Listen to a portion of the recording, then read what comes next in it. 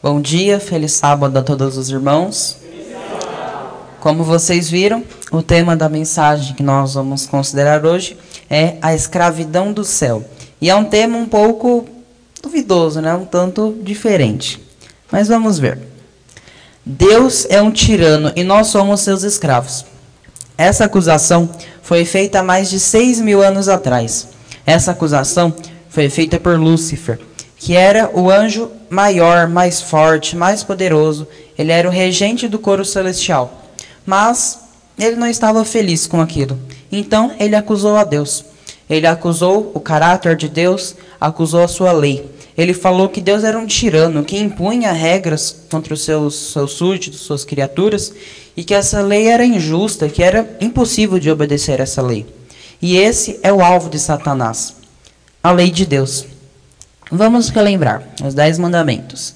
Primeiro, não terás outros deuses diante de mim. Segundo, não farás para ti imagem de escultura, não as adorarás. Terceiro, não tomarás o nome do Senhor em vão. Quarto, lembre-te do dia do sábado para o santificar. Quinto, honrai pai e mãe. Sexto, não matarás. Sétimo, não adulterarás. Oitavo, não furtarás. Nono, não dirás falso testemunho. E décimo, não cobiçarás. Esse é o alvo de Satanás ele quer destruir completamente a lei de Deus. Comentário Adventista, com comentários de Ellen White, volume 7, página 1101. Serão removidos então os marcos e será feita uma tentativa para demolir as colunas de nossa fé. É isso que Satanás quer. Colocar a lei de Deus em total esquecimento. Ele quer que todos os súditos de Deus, toda criatura do universo, esqueça da lei de Deus, esqueça de seu caráter e o desonre. Então Satanás trouxe essa rebelião para, o, para a terra. Então todos pecaram e destituídos estão da glória de Deus. Satanás acusava a Deus de ser um tirano e de que todos eram escravos dele. Mas então, quando ele começou essa rebelião, quando ele trouxe o pecado para o universo e para a terra, aí sim nós entramos numa escravidão. Nós ficamos escravos do pecado. Nós somos pecadores, não importa o que nós façamos. Não, nada. Nós somos pecadores desde que nascemos. Nossos filhos serão pecadores, nossos pais foram pecadores. E essa é a nossa condição. Não tem o que fazer. Nós estamos numa escravidão. Pecamos, pecamos e pecamos. Mas então Deus trouxe uma solução. Jesus viria e morreria aqui por nós. O plano que todos nós conhecemos. Então, com o passar dos tempos, é... obrigado. É, Satanás foi trabalhando aqui na terra e as pessoas começaram a se esquecer de Deus. Salmos 53, 1 a 3. Disse o nécio no seu coração: Não há Deus. Tem se corrompido e cometido abominável iniquidade. Não há ninguém que faça o bem. Deus olhou desde os céus para os filhos dos homens, para ver se havia algum que tivesse entendimento e buscasse a Deus. Desviaram-se todos e juntamente se fizeram imundos. Não há quem faça o bem, não há nenhum sequer. Então, alguma parte, uma parte dos, dos seres humanos simplesmente se esqueceram de Deus, abandonaram sua lei, abandonaram a adoração a Ele, e Satanás conseguiu um pouco de triunfo. Ele conseguiu uma parte da humanidade. Essa parte não seguia mais a Deus. Então, essa parte, e até hoje, tem muitos né, que não acreditam em Deus, que não honram a sua lei, eles acham a cruz loucura. Eles acham a lei de Deus, o caráter de Deus, uma coisa assim, estranha, uma loucura.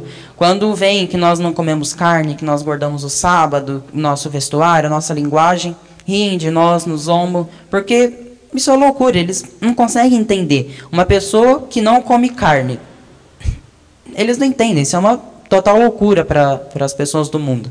Mas nós sabemos que essa é a nossa verdade. Nós pregamos a Cristo e este crucificado. Essa é a nossa verdade, a lei que nós sabemos que é verdadeira, sim.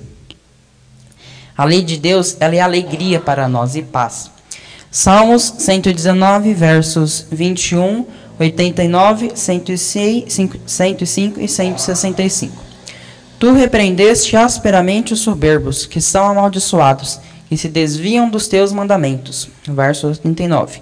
Para sempre, ó Senhor, a tua palavra permanece no céu. 105. Lâmpada para os meus pés é a tua palavra e luz para o meu caminho. E 165. Muita paz tem os que amam a tua lei, e para eles não há tropeço. Vejam, a lei de Deus é alegria para nós, é paz, é a lâmpada para os nossos pés, ela guia o nosso caminho. Mas para os ímpios é perdição, eles são amaldiçoados, porque eles não guardam os mandamentos de Deus. Em várias partes da Bíblia, a, ela valida a si mesma. Ela fala que a lei de Deus é perfeita, que ela é justa e que a Bíblia é verdadeira. Vamos ver aqui alguns exemplos.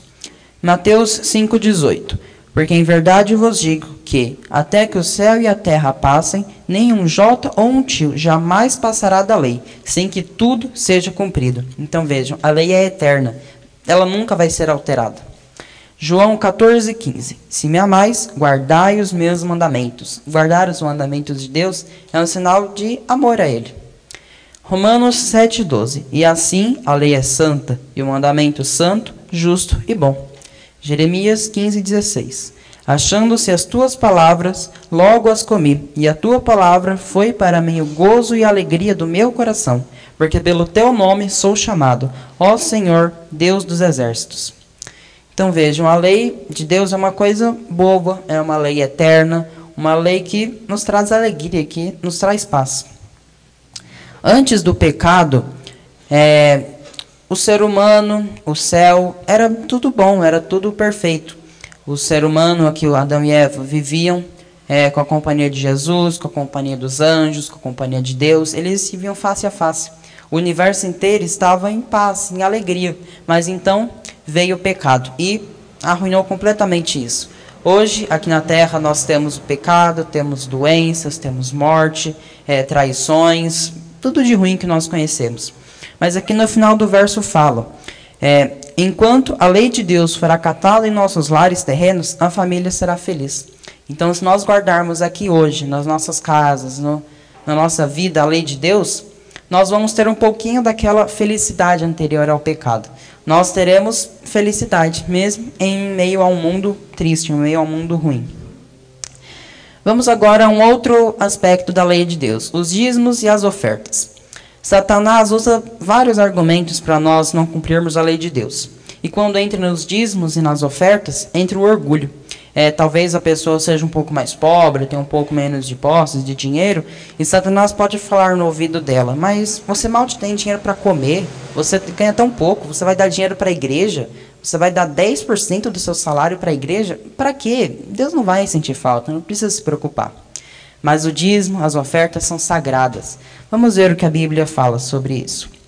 Trazei todos os dízimos à casa do tesouro, para que haja mantimento na minha casa e depois fazei prova de mim nisto, diz o Senhor dos Exércitos.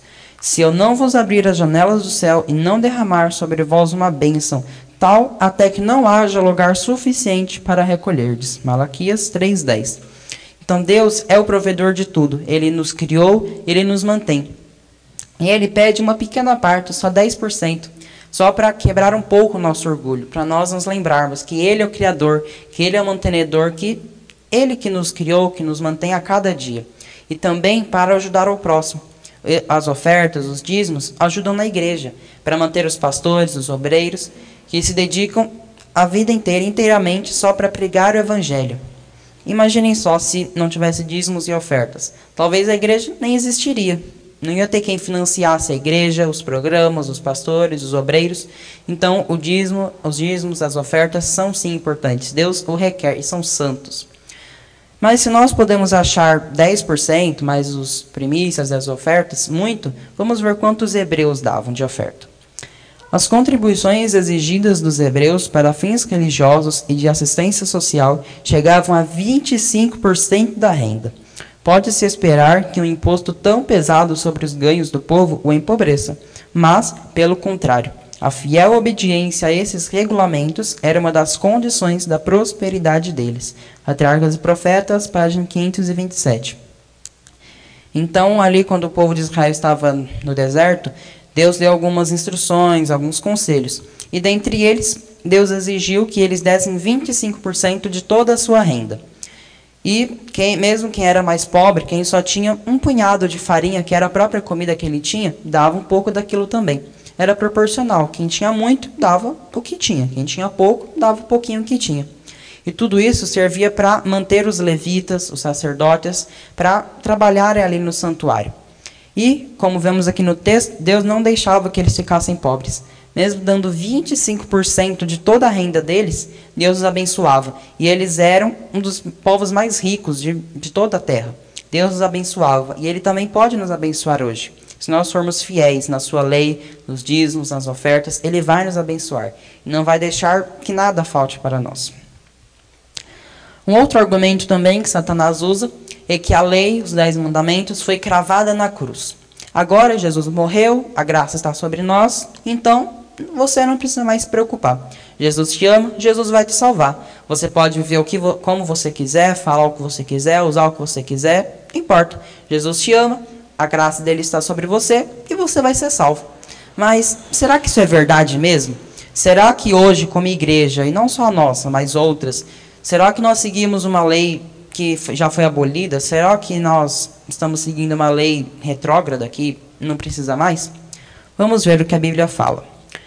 Colossenses 2,14 Tendo cancelado o escrito de dívida que era contra nós e que constava de ordenanças, o qual nos era prejudicial, removeu-o inteiramente, encravando-o na cruz. E Efésios 2,15 Aboliu na sua carne a lei dos mandamentos na forma de ordenanças, para que dos dois criasse em si mesmo um novo homem, fazendo a paz. Esses textos podem também parecer um pouco confusos, Aqui está falando de uma lei que foi cravada na cruz, uma lei que foi abolida, mas essa lei aqui não é a lei dos dez mandamentos. É a lei de Moisés, aquelas, todos aqueles rituais, o sacrifício da tarde, o sacrifício da manhã e todas as festas, é tudo aquilo que, que a quem se refere esses versos. Vamos falar um pouco mais sobre essas duas leis, a lei moral e a lei cerimonial. Agora eu vou pedir a ajuda dos irmãos. Vamos ler primeiro em Deuteronômio 9, 10. Quem achar primeiro pode ler, por favor.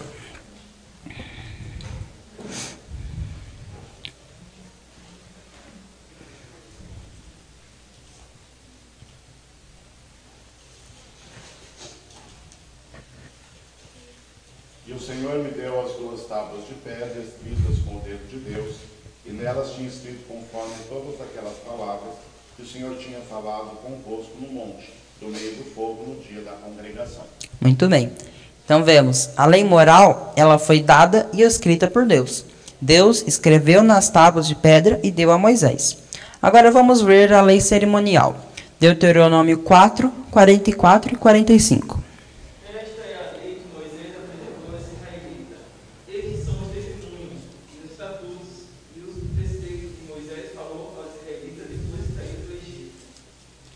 Muito bem. E Deuteronômio 31, 9.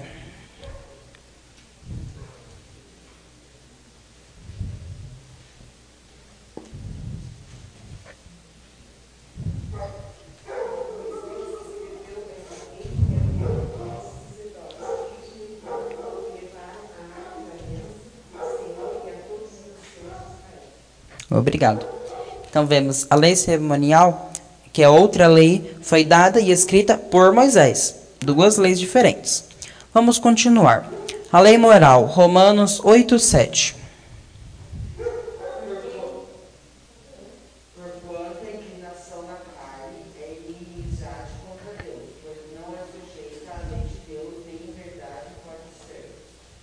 Muito bem. Então, essa lei moral que foi dada e escrita por Deus é chamada de lei de Deus. Agora vamos ver como a lei cerimonial é chamada. Atos 15, 5.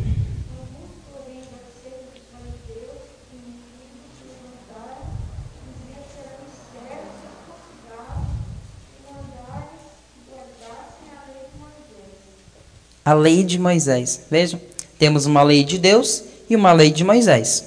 Vamos continuar. Salmos 119, 89.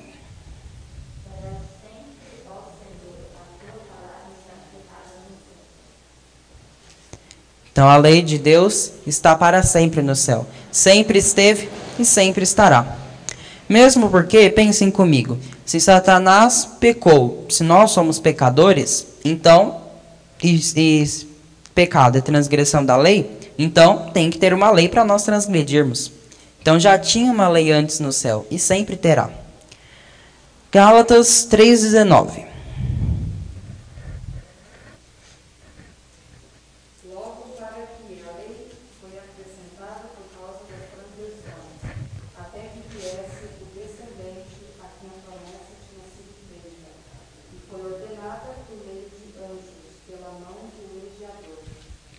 Então a lei de Moisés foi dada depois do pecado. Porque essa lei cerimonial, que eram todos os ritos, os sacrifícios, tudo isso apontava para Jesus, que um dia viria e morreria por todo o planeta e o salvaria dos seus pecados. Então era para Jesus que apontava toda essa lei. Surgiu depois do pecado. Vamos continuar. A lei moral. Lucas 16, 17.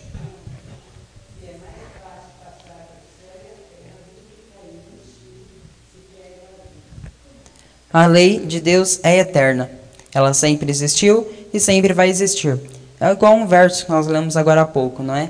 Não vai passar nenhum tio ou um J. Ela nunca vai mudar. É eterna, para sempre. Mas então vamos ver a lei cerimonial. Tudo bem, ela teve um começo. Mas será que ela é eterna também?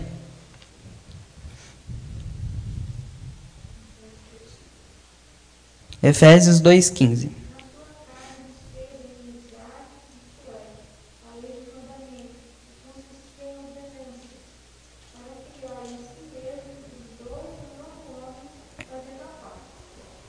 É o verso que nós lemos agora há pouco. Então vejam, a lei cerimonial foi essa sim foi abolida na cruz, porque agora não tinha mais porquê. Jesus já tinha morrido, ele já tinha nos salvado dos nossos pecados, então não precisava mais de uma lei para apontar Jesus. Ele mesmo já tinha vindo e morrido. Essa sim foi a lei que verdadeiramente foi abolida, a lei de Moisés, a lei cerimonial. Vamos ler em Daniel 9, 27. E ele firmará aliança com muitos por uma semana. E na metade da semana fará cessar o sacrifício e a oferta de manjares, e sobre a asa das abominações virá o assolador, e isso até a consumação, e o que está determinado será derramado sobre o assolador. Aqui está fazendo referência à profecia das 2.300 tardes e manhãs, está falando aqui da, da uma semana, que seria do começo do ministério de Jesus até o martírio de Estevão. E na metade da semana, que é a morte de Jesus, aqui no verso fala que fará cessar o sacrifício e a oferta de manjares. Ou seja, a lei de Moisés, todos aqueles ritos, todos aqueles sacrifícios. Mateus 27, 51. E eis que o véu do templo se rasgou em dois, de alto a baixo, e tremeu a terra, e fenderam-se as pedras. Aqui no sinal físico, quando Jesus morreu, quando ele falou, está consumado, o véu no santuário que separava o santo do santíssimo se rasgou ao meio, simbolizando e falando definitivamente que tudo aquilo não era mais necessário, porque o verdadeiro Cordeiro de Deus já tinha morrido. Não precisava mais de alusões de que um dia viria, não. Jesus já veio e já morreu. Romanos 3:31. Anulamos, pois, a lei pela fé? De maneira nenhuma. Antes estabelecemos a lei. De mesmo depois da morte de Jesus, mesmo nós estando sobre a graça, nós ainda temos uma lei a ser seguida. Nós ainda devemos pregar a lei, cumprir a lei. E como nós estamos falando de escravidão do céu, que é o que Satanás acusou, de que Deus era um tirano e que, nós, somos seus escravos, vamos ver um verdadeiro escravo da cruz, que foi Paulo. Gálatas 2:20. Já estou crucificado com Cristo, e vivo não mais eu, mas Cristo vive em mim. E a vida que agora vivo na carne, vivo-a pela fé do Filho de Deus, o qual me amou e se entregou a si mesmo por mim. Paulo, ele se entregou completamente a Deus. Ele não vivia mais para si mesmo. Ele não tinha mais os seus próprios desejos, as suas próprias inclinações. Não. Ele agora tinha os desejos de Deus. Ele vivia para Deus completamente, sua vida inteira. Ele dedicou para Jesus. Romanos 1:1 Paulo, servo de Jesus Cristo, chamado para apóstolo, separado para o evangelho de Deus. Algumas vezes Paulo usa essa, essas expressões. Paulo, servo de Jesus, Paulo, escravo da cruz, porque, como eu já disse antes, ele não, não servia mais a si mesmo. Ele agora servia a Deus, e numa escravidão é, simbólica. porque ele não tinha mais os próprios desejos, ele servia a Deus agora. Vamos ver um evento da vida de Paulo. É, Paulo, uma vez, junto com Silas, estava numa cidade e tinha uma mulher vidente que estava profetizando ali, dizendo coisas erradas. É, então Paulo expulsou aqueles demônios que estavam naquela mulher e os donos daquela mulher não gostaram, porque ela era a fonte de lucro deles. Então pegaram Paulo, Silas, mandaram para os governantes e acusaram eles de estarem fazendo revoltas e de causar tumulto. Então eles foram presos, bateram, nele, os bateram neles, os açoitaram, os prenderam e trancaram lá na prisão. Ali, Paulo e Silas tinham tudo para reclamar. Eles dedicavam a vida a Deus, é, pregavam o evangelho, e agora, e muitas outras vezes, eles estavam presos, sofrendo, eles tinham tudo para reclamar. Numa prisão, o que se ouve é xingamentos e pessoas chorando, pessoas bravas, tristes, arrependidas, mas Paulo e Silas, eles estavam cantando. Eles estavam cantando no meio da prisão. Em meio ao sofrimento, eles louvavam a Deus, porque eles não se viam mais é, presos. Nós estudamos isso na, na nossa lição anterior, né, há pouco tempo. Eles não se viam presos, eles viam o, a, a companhia celestial deles, eles viam o céu aberto perante eles. Eles não estavam mais é, presos, eles estavam livres, livres com Jesus. Paulo, muitos outros apóstolos, eles morreram porque para mim o viver é Cristo e o morrer é ganho. Filipenses 1:21. Eles não tinham é, apreço à vida. Eles, para eles, o viver era Cristo. Era levar pessoas a Ele. E o morrer não era nada. Eles não tinham medo da morte, porque eles estavam firmes em Cristo. Eles tinham certeza de que o que eles estavam fazendo era verdadeiro, de que eles já estavam salvos. Eles já descansavam em Cristo. Eles estavam libertos da escravidão. Vamos ver alguns outros exemplos de escravos de Cristo ao longo das eras. Os apóstolos que começaram a, a, o cristianismo, né, que também sofreram muito, é, os fiéis na Idade Média e os valdenses que passaram por uma das piores épocas do, do nosso mundo, a Idade Média, a Idade das Trevas, que assim existiam torturas horríveis, eles sofreram coisas inimagináveis, mas eles permaneceram firmes. Eles ficaram firmes, pregando a verdadeira lei de Deus. Eles manteram acesa a tocha do Evangelho. Mesmo em meio a trevas, eles brilhavam, brilhavam a lei de Deus. Também os adventistas pioneiros, de milhões e milhões de mileritas que aguardavam a volta de Jesus, apenas doze ficaram. Só doze ficaram fiéis. E deles estamos aqui hoje. Porque eles foram fiéis e foram procurar na lei de Deus, foram procurar esclarecimento, nós estamos aqui hoje. E nós hoje também somos é, testemunhas de Jesus. Nós hoje também devemos pregar a Jesus, devemos pregar essa lei. Então, estamos na escravidão do pecado e Jesus, o nosso grande libertador, veio e nos salvou. Ele veio aqui até essa terra, saiu do céu, de todo o seu poder, de toda a sua glória, e veio aqui para morrer por mim, morrer por você. E se ele fez um sacrifício assim tão grande, ele deixou tudo, deixou sua glória, seu poder e veio aqui se fazer de humano para pessoas que nem o aceitaram, nem reconheceram Jesus como filho de Deus. O mataram como criminoso qualquer, como ninguém. Se ele fez tudo isso por nós, por que nós também não podemos obedecer à lei de Deus e honrar a ele? General Conference Bulletin 1899 o pecador, atraído pelo poder de Cristo para sair da confederação do pecado, aproxima-se da cruz erguida e diante dela se prostra. Então surge uma nova criatura em Cristo Jesus. O pecador está limpo e purificado. Ele recebe um novo coração. A batalha foi ferida, ganha a vitória. O conflito entre o pecado e a justiça exaltou o Senhor do céu e estabeleceu diante da família humana salva, diante dos mundos não caídos e de todo o exército dos agentes do mal, do maior ao menor, a santidade, misericórdia, bondade e sabedoria de Deus. Hoje, nós aqui no mundo, nós, o povo remanescente, que conhecemos a lei de Deus, não somos testemunhos, não somos luz só no nosso mundo mas o universo inteiro está fixado em nós. Vendo ali. É o único mundo que pecou, o único mundo que caiu na, na tentação de Satanás. Então o universo inteiro está fixo em nós, vendo se nós vamos decidir obedecer a Deus ou se vamos obedecer a Satanás. Esse é o conflito cósmico. Nós, quando aceitamos a Jesus, quando obedecemos a sua lei, nós mostramos ao mundo e ao universo inteiro de que essa lei é justa, de que essa lei é possível de obedecer. Com a ajuda de Deus, ela é possível e é justa. Jesus, que na parábola, que uma, uma parábola que ele contou uma vez do comerciante que vai em busca de pérolas, tem dois significados. O primeiro é que a pérola somos nós, que Cristo, que é o grande comerciante celestial, veio a essa terra e procurou por uma pérola, que somos nós. Ele deixou tudo e nos comprou pelo seu sangue. Ele viu que nós podíamos ter um futuro melhor, que nós podíamos viver, que nós podíamos obedecer a Ele e mostrar ao mundo e ao universo inteiro de que a sua lei é justa, de que seu caráter é justo. Essa é a verdadeira liberdade, a liberdade em Cristo, a liberdade da escravidão do pecado em que nós vivemos. The Old Destructor, 13 de dezembro de 1894. A grandeza desse dom devia fornecer ao homem um tema de ação de graças e de louvor que perdurasse pelo tempo e eternidade.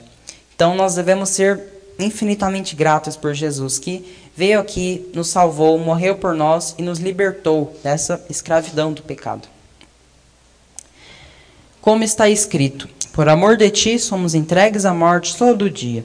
Somos reputados como ovelhas para o matadouro, mas em todas estas coisas somos mais do que vencedores, por aquele que nos amou. Romanos 8, 36 e 37. Hoje, a cada dia nós morremos para nós mesmos. Morremos para o nosso eu pecador e renascemos como embaixadores de Deus, representantes de Cristo, mostrando a sua lei, mostrando a sua luz para o mundo e o universo inteiro. Esses dias eu vi uma frase e eu achei interessante. Eu não estava no Éden e herdei a culpa, mas eu também não estava no Calvário e herdei a graça. Então, foi Adão e Eva que pecaram. Nós, de certa forma, não temos culpa do erro deles, mas nós também somos pecadores. Nós somos filhos deles e nós herdamos essa culpa do pecado. Mas Deus não nos deixou sem esperança. Nós não pagamos o preço, nós não estávamos no Calvário, mas nós também herdamos a graça. Cristo nos salvou, mesmo nós sendo pecadores, mesmo nós, como, como somos pecadores, né, desobedecemos a lei de Deus a cada dia. Nós somos imperfeitos, mas Cristo viu uma perfeição em nós. Ele viu que nós poderíamos ser melhores. Só porque nós temos a graça agora, só porque Jesus veio morrer por nós, nós estamos livres da lei? Com certeza que não. Nós já vimos isso. Existe uma lei sim, e nós devemos cumpri-la. Não importa se Jesus morreu por nós, nos ama, tem a sua graça, nós ainda temos um dever. Ainda devemos obedecer à lei de Deus e mostrar essa lei ao mundo, mostrar às outras pessoas de que essa lei não é uma escravidão como Satanás acusa, não é uma coisa ruim, mas é liberdade, é alegria, é felicidade. É uma coisa boa, não um jugo. A lei de Deus também é a nossa marca.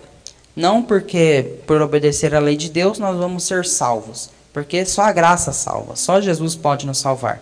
Mas quando nós somos salvos por Jesus, quando o seu Espírito está sobre nós, a obediência à lei é fruto. Nós obedecemos a lei porque nós entendemos que esse é o melhor, que isso é bom. E sozinhos, é claro, né, nós não conseguimos, somente com a ajuda de Deus. Apocalipse 14, 12. Aqui está a paciência dos santos, aqui estão que guardam os mandamentos de Deus e a fé em Jesus. E Parábola de Jesus, página 146.